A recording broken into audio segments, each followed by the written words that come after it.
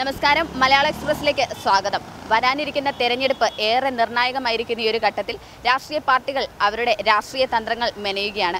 തെരഞ്ഞെടുപ്പിന്റെ ഭാഗമായി കഴിഞ്ഞ ദിവസം നരേന്ദ്രമോദി തൃശ്ശൂരിൽ വരികയുണ്ടായി. വലിയ ആഡംബരമായിട്ടുള്ള രീതിയിലുള്ള ഒരു റോഡ് ഷോയും മറ്റുമൊക്കെ നടന്നിരുന്നു. ഈ ഒരു വരവിന്റെ പ്രതിഫലനം തൃശ്ശൂരിൽ സുരേഷ് ഗോപിയെ പിന്തുണയ്ക്കുമോ? കേരളത്തിൽ ബി ജെ പിക്ക് അക്കൗണ്ട് തുറക്കാൻ പറ്റുമോ എന്നുള്ളതൊക്കെ ജനങ്ങൾ എങ്ങനെ വിലയിരുത്തി കാണുന്നു എന്നുള്ളത് ജനങ്ങളോട് തന്നെ നമുക്ക് ചോദിച്ചു നോക്കാം. പറ്റില്ല അതെങ്ങനെ ഇവിടെ കേരളം ഒരു ഒരു കാരണവശാലും ഓർക്കണ്ട. ബി ജെ പിക്ക് ഇവിടെ എന്ത് ചാൻസ് ആൾക്കാരെ പറ്റിക്കില്ല. ഒരു കാര്യം ചോദിച്ചാൽ മറുപടി പറയണം. പറയോ? ഇവിടെ പണ്ട് സെക്രട്ടറിന് മുമ്പിൽ ഗ്യാസിന് വില കൂടിയെന്ന് പറഞ്ഞ് സ്റ്റൗ കത്തിച്ചവരാ. കാള പെട്രോളിന് വില കൂടിയത് കാളവണ്ടിയെന്ന് നടന്നു പതിനഞ്ച് ലക്ഷം രൂപ എല്ലാവരുടെ അക്കൗണ്ടിലോട്ട് തരാം നിങ്ങളുടെ എനിക്കല്ല എനിക്ക് അമ്പത്താറ് വയസ്സായി. ആരെങ്കിലും കൈ വന്നോ? വന്നോ? പതിനഞ്ച് ലക്ഷം പേർക്ക് തൊഴിൽ കൊടുക്കാമെന്ന് തന്നോ? അതാണ് ബി ജെ പി.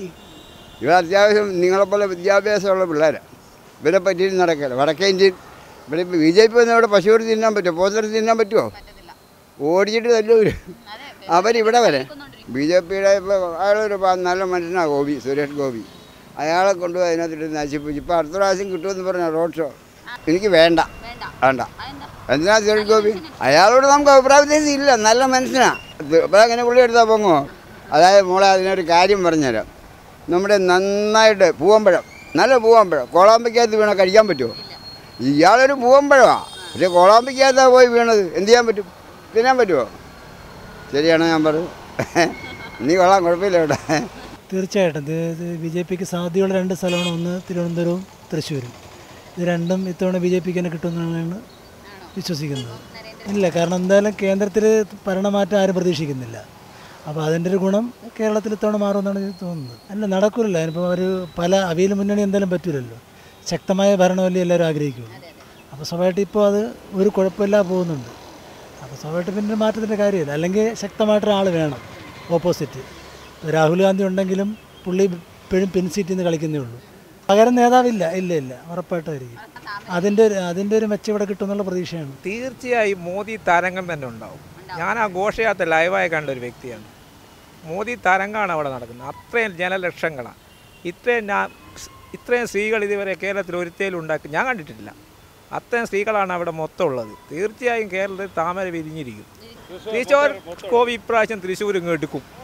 അങ്ങ് എടുത്തിരിക്കും വെച്ചങ്ങൾ പത്ത് മിനിറ്റ് അല്ല അങ്ങ് എടുക്കുന്നു പറഞ്ഞാൽ എടുത്തിരിക്കും. ഈ പ്രാവശ്യം അങ്ങ് എടുത്തിരിക്കും സുരേഷ് ഗോപി. അതിനൊരു മാറ്റവും ഇല്ല ഉറപ്പാണ് ഹൺഡ്രഡ് പെർസെന്റ് വിവാദത്തിൽ രാഷ്ട്രീയക്കാരാന്നാലും വിവാദം ഉണ്ടാവും സ്വാഭാവികമാണ്. എല്ലാ രാഷ്ട്രീയക്കാർക്കും വിവാദമില്ലേ? കടകംപള്ളി സുരേന്ദ്രൻ എന്തായാലും വിവാദമുണ്ട്. എന്നിട്ട് എം എൽ എ ആയിട്ട് പിരിക്കുന്നില്ലേ അത് നോക്കിയിട്ട് കാര്യമില്ല. രാഷ്ട്രീയക്കാർക്ക് അന്നേരം വിവാദം ഉണ്ടാവും. അത് നോക്കിയിട്ട് കാര്യമില്ല. പക്ഷേ ഇവിടെ ശക്തമായ മത്സരം കാഴ്ചവെക്കും പക്ഷേ ഇവിടെ വിജയ സാധ വിജയ സാധ്യത കൂടുതൽ ശശി തരൂരാണ്. അതിൽ മാറ്റമില്ല. സി പി എം ഇവിടെ സി പി ഐ ഇവിടെ മൂന്നാം സ്ഥാനത്ത് പോകും ഒരു പതിനേഴ് ശതമാനം വോട്ടേ അവർക്ക് കിട്ടും. അതേ കിട്ടുള്ളൂ. സി പി എമ്മിനെ ജനം വെറുത്തു തുടങ്ങി. നവകേരള സദസ്സ് ആര് കേട്ടത് ആര് കേൾക്കത്തത്? ഒരു ബസ് ഇട്ട് കോടിക്കണക്കിന് രൂപയുടെ ഒരു ബസ്സുകാർ ഇങ്ങനെ പോയിട്ട് പാമ്പൊക്കെ എന്തൊരു ഗുണം കിട്ടി ഇവിടെ? സി പി എം പതിനേഴോ പതിനെട്ടോ ശതമാനം വോട്ട് അതിൽ കൂടുതൽ കൂടുതലോ വേണമെങ്കിൽ ഇത് കഴിഞ്ഞിട്ട് ഇവിടെ വന്നോ? മോഡി തരകം കേരളത്തിൽ ഉണ്ടാവും. ഇന്ത്യ ഒട്ടാകെ ഉണ്ടാവും. കേരളത്തിൽ ഒരു സീറ്റ് ഉണ്ടാവും. ഒരേ ഒരു സീറ്റ്. ഒന്ന് കൂടുതൽ പറയാനില്ല ഒരു സീറ്റാണ് ബംഗാൾ എങ്ങനെയാണ് ബംഗാളിൽ എങ്ങനെയാണ് വന്ന കമ്മ്യൂണിസ്റ്റ് എന്നാ പറഞ്ഞത് ത്രിപുരയിൽ എന്നാ കമ്മ്യൂണിസ്റ്റ് വന്നത്? സി പി എം ഇല്ല. അല്ല ഇതിലും കൂടുതൽ സി പി എമ്മാരുള്ള സ്ഥലമല്ലേ ത്രിപുര. ജനങ്ങൾക്ക് ബുദ്ധി വെച്ച് വന്ന് തുടങ്ങി. അതറിഞ്ഞില്ലേ? പഴയ കാലമല്ല എല്ലാം മൊബൈൽ കാണുന്നുണ്ട് ഇപ്പോൾ പണ്ട് ദൂരദർശൻ ചാനൽ മാറ്റിയിട്ടേനും കാണല്ലേ പിന്നെ ഏഷ്യാന്റെ സൂര്യ എല്ലാം വന്നത്. ഇപ്പം അങ്ങനെയല്ല. എന്നാലും ഇപ്പം മൊബൈലിൽ എല്ലാ വിവരങ്ങളും ജനങ്ങൾ അറിയുന്നുണ്ട്. ഏ?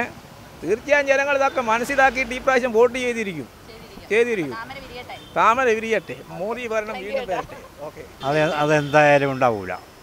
ആ അതിപ്പോൾ അത് ഇതിന് മുമ്പ് തന്നെ നമ്മളെ ബി ജെ പിയുടെ ആദ്യത്തെ സർക്കാർ വരുന്ന സമയത്ത് തന്നെ ഒരു തരംഗം പോലെ ആദ്യം ദേശീയ തലത്തിൽ വന്നെങ്കിലും കേരളത്തിൽ അക്കൗണ്ട് തുറക്കാൻ കഴിഞ്ഞിട്ടില്ല. അതിന് ശേഷം നടന്ന ഇലക്ഷൻ നട കഴിഞ്ഞിട്ടില്ല. ഇപ്പോഴായാലും അത് ഇപ്പോൾ സുരേഷ് ഗോപി എന്നുള്ള ഒരു ഇത് വിഷയമല്ല അതിനകത്ത്. കേരളത്തിന്റെ പൊതുവായ സാംസ്കാരികമായ ഒരു ഇതുണ്ട്.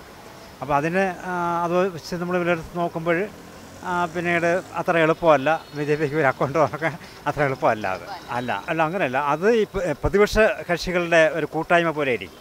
അവർ തമ്മിൽ അഭിപ്രായ വ്യത്യാസമില്ല എങ്കിൽ തീർച്ചയായിട്ടും വരും കാര്യം കഴിഞ്ഞ പിന്നീട് പാർലമെന്റ് ഇലക്ഷന് പിന്നീട് എന്തുകൊണ്ട് ബി ജെ പി കൂടുതൽ സീൽ പിടിച്ചെന്ന് പറയുമ്പോൾ അവിടെ ത്രികോണ മത്സരമാണ് വന്നിട്ടുള്ളത്.